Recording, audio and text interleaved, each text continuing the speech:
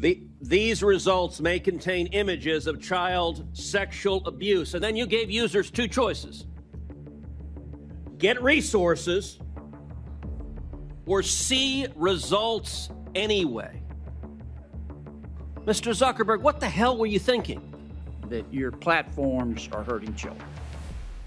I'm not saying they're not doing some good things, but they're hurting children.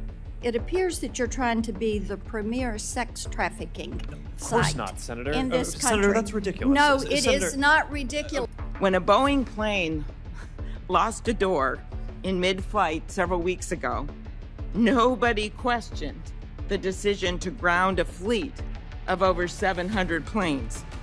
So, why aren't we taking the same type of decisive action on the danger of these platforms when we know these kids are dying? So you didn't take any action. You didn't That's take any true, action. Senator. You didn't fire anybody. You haven't compensated a single not- victim. Let me ask you said. this. Let me ask you this. There's families of victims here today. Have you apologized to the victims?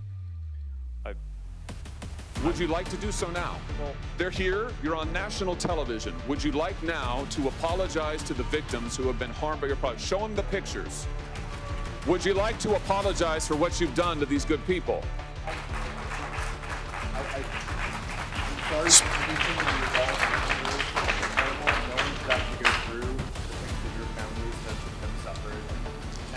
Why we invested so much and are going to continue doing industry-leading efforts to, to make sure that no one has to go through the types of things that your families have had to suffer. Does your user agreement still suck?